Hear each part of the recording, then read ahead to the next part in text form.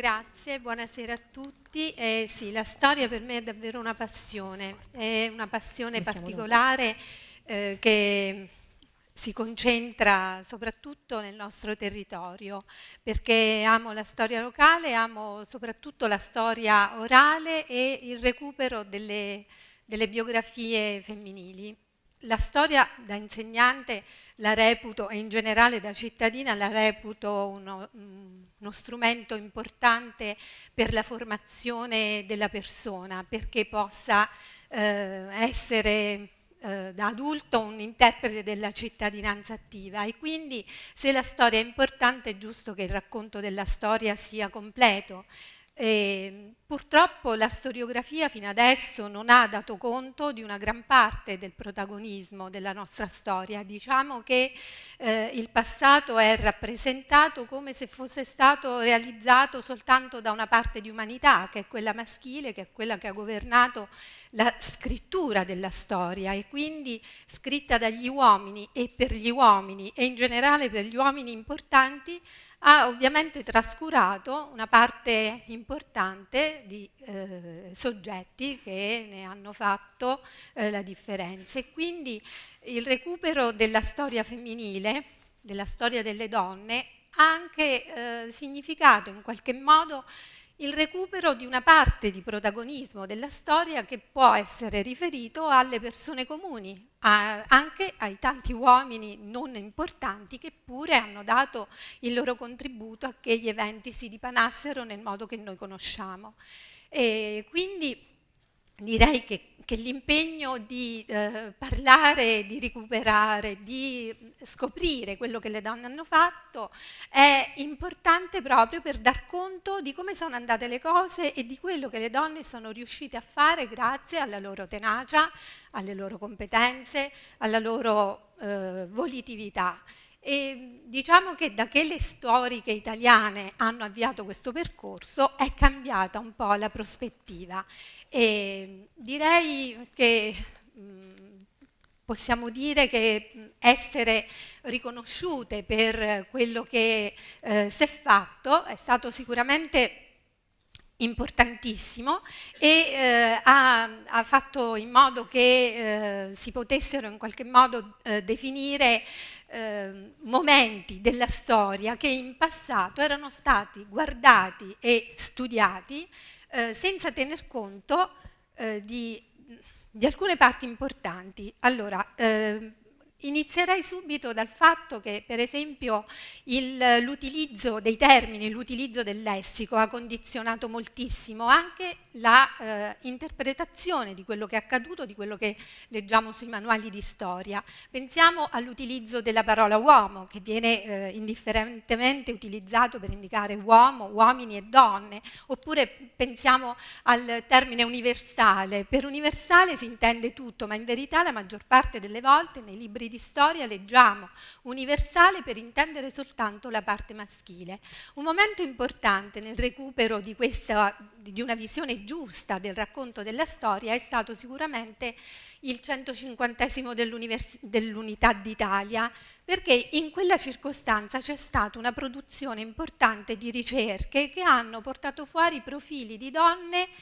eh, di levatura intellettuale altissima, ma anche donne semplici che hanno dato un apporto irrinunciabile all'affermazione degli ideali liberali e degli ideali risorgimentali. Po'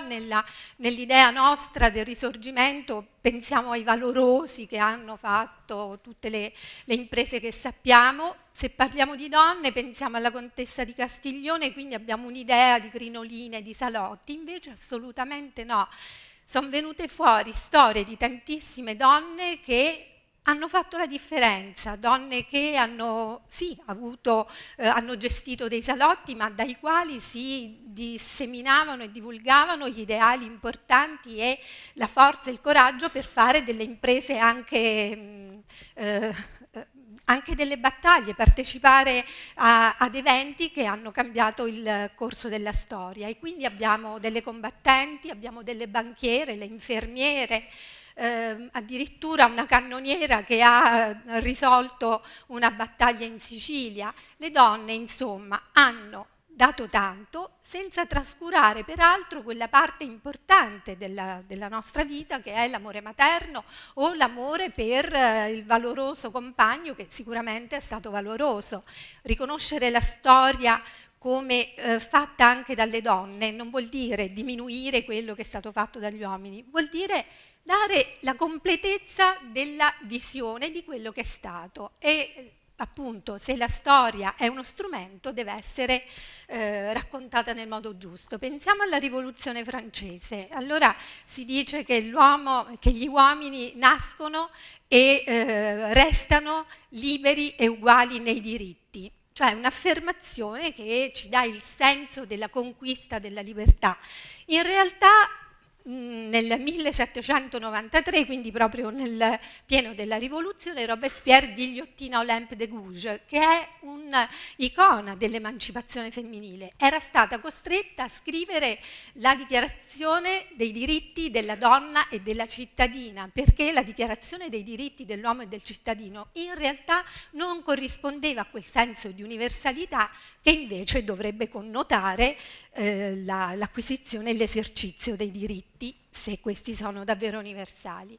E a questo proposito credo che sia importante pensare che l'emancipazione delle donne, quindi la conquista di una riconoscibilità nelle cose che hanno fatto e che fanno, passa sicuramente per la conquista dei diritti civili e dei diritti politici. Ma se pensiamo ehm, che nel 1906, il 25 luglio per la precisione, venne eh, emessa una sentenza storica proprio dalla Corte di Appello di Ancona, da un giurista che sarà poi importante per la storia del nostro paese, che si chiamava Ludovico Mortara, sotto l'impulso e la sollecitazione di donne abbastanza straordinarie, tra le quali Maria Montessori, dieci maestre anconetane chiesero di essere iscritte nelle liste elettorali eh, della provincia di Ancona. Il giudice Mortara era totalmente contrario a che le donne votassero perché credeva che le donne non fossero in grado di poterlo fare.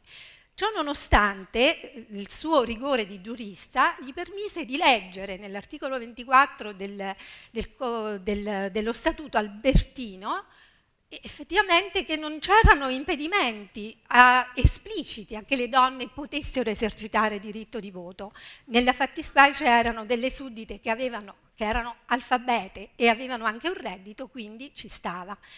Questa sentenza eh, scombinò completamente le questioni in tutta Italia, per cui il grande movimento di reazione che si ebbe portò nel maggio dell'anno successivo all'annullamento di quella, di quella, storica sentenza per cui le donne marchigiane, le donne italiane dovettero aspettare 40 anni per arrivare all'esercizio del diritto di voto, perché badate bene, il suffragio universale in Italia è del 1946, non è certo del 1913 come si legge sui libri di storia, perché quello era suffragio maschile, universale non è maschile, universale è maschile e femminile. Eh, un'altra prova di, di, illusione di raggiungere la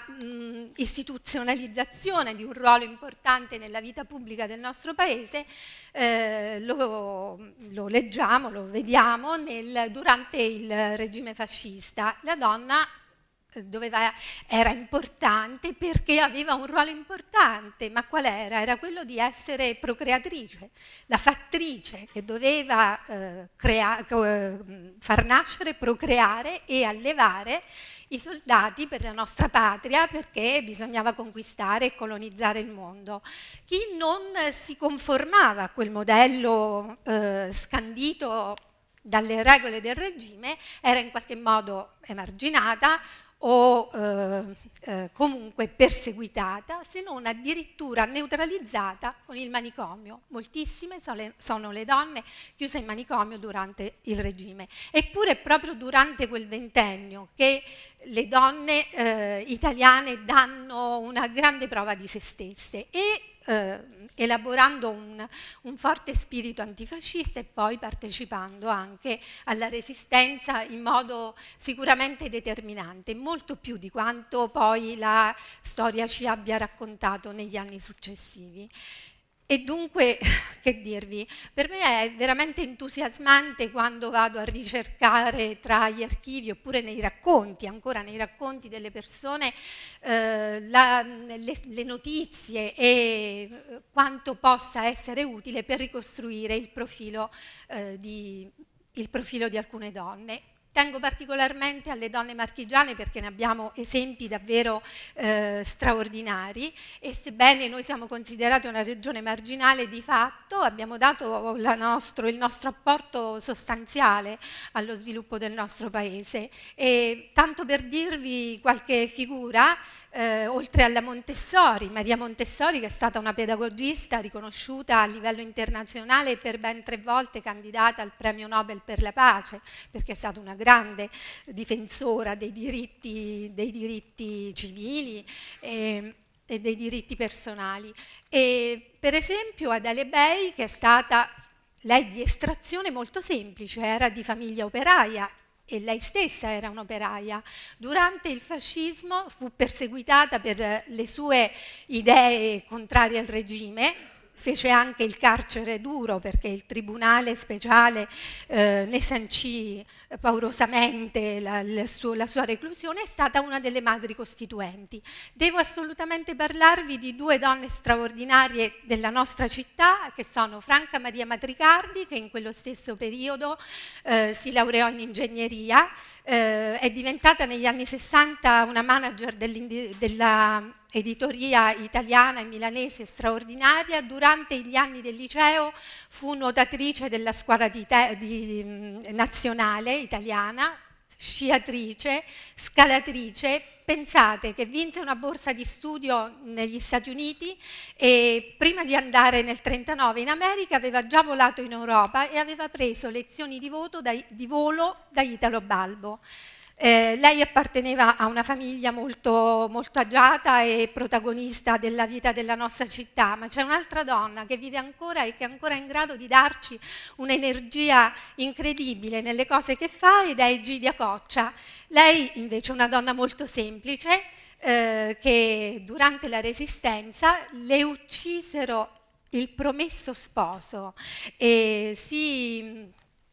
aderì alla lotta armata e eh, diventò la postina perché conosceva molto bene l'alfabeto Morse e quindi era una portaordini che comunicava le notizie fondamentali alla banda Blick che si trovava nei boschi tra Castignano e Rotella. La notte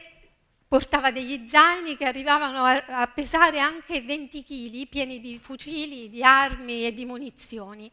la sua storia è stata una storia di dolori, di, di difficoltà, ma eh, anche di grandi gioie vissute all'interno anche di quelle esperienze così impegnative. E ancora oggi, quando viene a scuola e approccia con i ragazzi facendogli questa domanda, voi quante paia di scarpe avete? Perché lei in realtà non aveva le scarpe, aveva solo degli zoccoli scavati nel legno coperti da, una,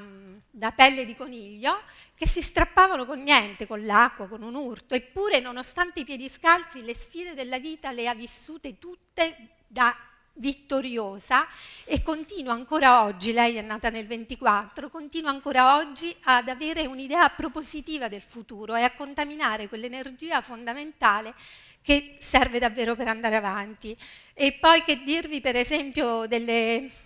delle tante vergare che nella nostra regione con la loro sapienza e con i loro mestieri hanno in qualche modo traghettato l'economia della nostra regione verso l'industrializzazione perché quella loro sapienza è poi diventata eh, in forme più elaborate la microimprenditorialità che è un modello anche al di fuori della nostra regione.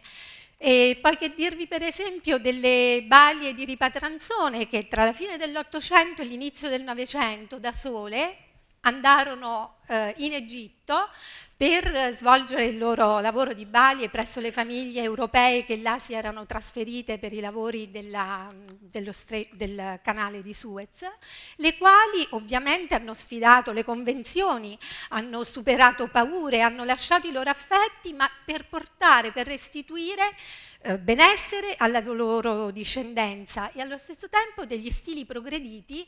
di vita dai quali non si è tornati indietro. E quindi eh, che dirvi, parlare di storie delle donne ovviamente avete visto che mi infervora molto, mi entusiasma molto, però penso che sia necessario, sia necessario parlarne alle donne e agli uomini soprattutto per evitare alle donne l'automarginalizzazione e agli uomini per far capire, per dargli l'opportunità di conoscere come la dignità delle donne sia esattamente pari a quella degli uomini. E in questo modo sconfiggere quegli stereotipi che ci rovinano la vita e che spesso producono comportamenti di sopraffazione, di predominio e spesso di violenza, delle quali purtroppo noi di quella violenza sappiamo quanto, quanto sia brutto e che brutto peso abbia la nostra società.